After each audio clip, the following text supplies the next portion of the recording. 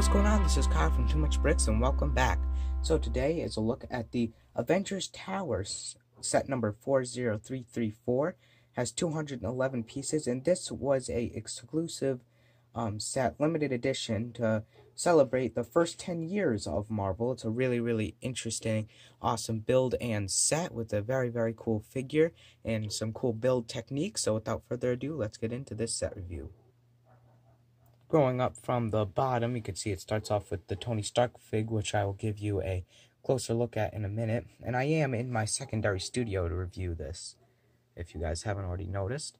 So up on the top, you have just the normal, you know, regular A cylinder piece that we've gotten in actually the um, Endgame sets. But it's a very, very cool build. You got the mini Quinjet. Let me just take that out of the way for you. So as you can see, it's got really cool profiles. Good sloping techniques, and it's pretty pretty big. It's not really like a like a small build. I mean, 211 pieces jam packed into this is definitely worth it. I think.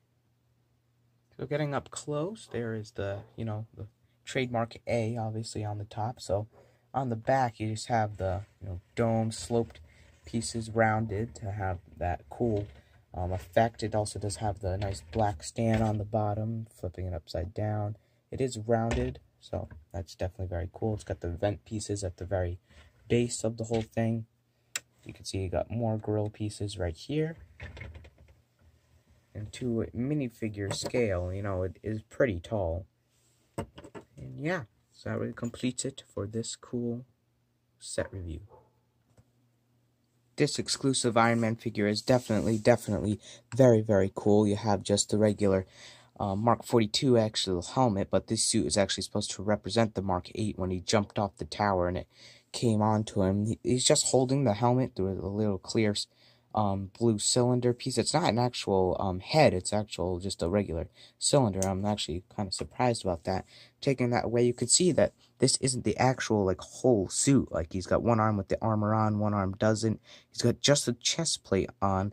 That looks like he just has part of the suit that's coming onto him. The same with um the printing on the back, and it's definitely some cool printing. You know, you got the red and silver, and you can kind of see like how the suit comes together underneath. No leg printing, just regular black legs. Kind of sad about that. Kind of wish LEGO would have put some printing on there, but you just have the regular black spiked hair and the regular new Infinity War and um, Endgame Tony Stark head with the heads up display.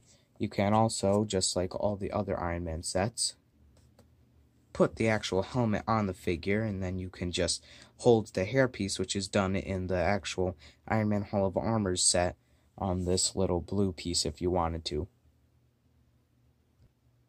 The tower also does have a little section on which Iron Man can stand to have him in a cool display mode. Just taking that off, he just rests on those two studs there.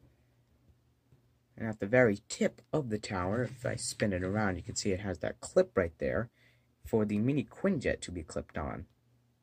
That is just clipped on using a regular clear um, pole piece just like that. And it is a very, very cool little Quinjet build. I can show you that up close. You can see it's just got the um, trans blue cheese slope to represent the um, dome or the cockpit. And also has a little bucket handle to represent some of the flaps underneath, just um, uh, clips used to uh, do boosters on some figures. You also do have two Star-Lord guns on top. I really like the use of these pieces. I've been seeing a lot more. You also do have them in, a lot of them in the Royal Talon Fighter mini um, one used as those um, flaps. So they definitely, I think they work. Um, it is an interesting build. It doesn't really look like a Quinjet. It more looks just like a some high-tech jet, but I definitely see jet in it. That's definitely for sure. But I really do like how they ended up going for this.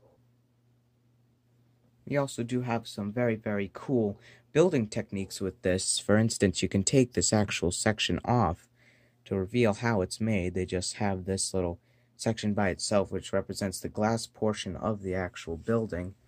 And they're just held in place by those studs right there, which I think is really, really cool. And then you have the balcony or landing pad for the actual um, jet, but it can actually not really fit, if this will focus, um, with this on, but actually taking it off, it just has one of those flat cylinder pieces, it can land right on top.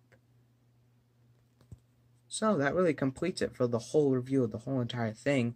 I definitely think this was worth getting, and is definitely an awesome promotional set to support Marvel and to honor them for being in business for 10 years.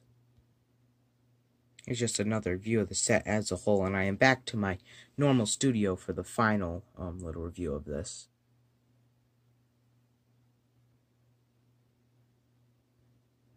Definitely a 10 out of 10 for me.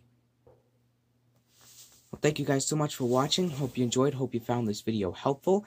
Um, this video is sponsored by Providence Brick Exchange. Um, my if you guys are local followers, definitely go check out that store called Providence Brick Exchange.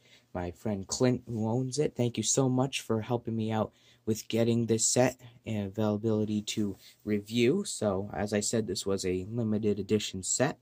But definitely stay tuned for more LEGO videos coming out soon. I have a lot of um, new MOCs that I'm working on. My LEGO City update should be coming out again soon. Been working on my Endgame MOCs. Um, custom figures, and just a lot, a lot of awesome stuff. I also do have uh, my stop motion studio set up, so where I will be doing some Lego stop motions, but I'm still deciding if I'm going to post them or not. Definitely leave in the comment section down below if you'd like to see me do some stop motions or just stick to what I'm doing. Whatever you guys want, that's what I'm going to do. So thank you guys so much for watching. Hope you enjoyed. Remember, you can never have too much bricks. Happy Halloween and keep building.